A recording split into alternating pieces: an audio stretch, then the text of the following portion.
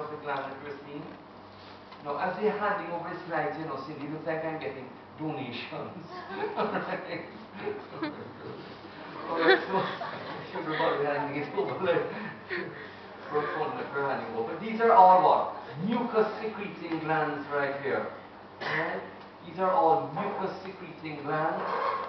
Okay, and juxtaposed to this are the more um, acidophilic, the more brightly stained with eosin. So there we see the, um, the serous component. So this is a mixed gland that we're looking here, and a seromucous gland. And there we see the muscle fibers. So this glandular tissue is now um, interspersed between the muscle that's very close to the lamina propria as we go into the mucosa here lots of glandular tissue. That's a nerve right here. So this is most likely an autonomic secretomotor nerve. That's a nerve right here in LS longitudinal section. That's very much involved obviously with the secretomotor activity of these glands. So that's a nerve right here. And that's a muscle fiber right here. Okay?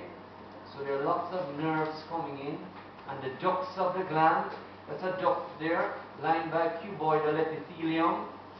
And uh, this, these glands look like they're very much associated with the circumvallate papillae. And these ducts will open into the villus. So hopefully we'll see a nice circumvallate papillae, and this, these are the glandular tissues. But the only thing is that the actual circumvallate papillae the planar section has missed the circumvallate papillae. But these are some beautiful seromucous glands here, mixed salivary glands. Sorry, mixed lingual glands. Whereas these ones here now are purely what? Mucus. Alright? These are purely mucus secreting glands right here. Whereas right here, they are mixed, both serous and mucus. Okay? Um, yes, so you see right here, I think we're right at the edge. This is a nice, this is a very interesting slide. We're right at the edge of a circumvallate papillae. So this would be part of the villus, or part of the space that would surround the circumvallate papillae. So we're right near the sulcus terminalis of the tongue, and this is just at the periphery of the circumvallate papillae.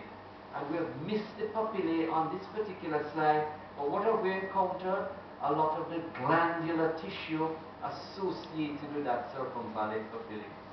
Alright. Now, um, so that's line belongs to somebody there. So let me look on um, this particular slide right here. So what's happened is that we're starting, you see, with the histology for the, the senior, the junior class, we're going into evening classes with them now. We're going into three histology groups. So it's quite a chaotic thing trying to get all these students organized. So most of my night last night was spent trying to organize them because I don't even have a class list for them. So it's a bit of a rough story. I have about 270 of them trying to sort them out. On this side here, there are no papillae. Alright? No papillae on this side. That's one of my slides. That is over there lost. Okay. Let me just look at a couple more of my slides and then I get back to your own. Okay.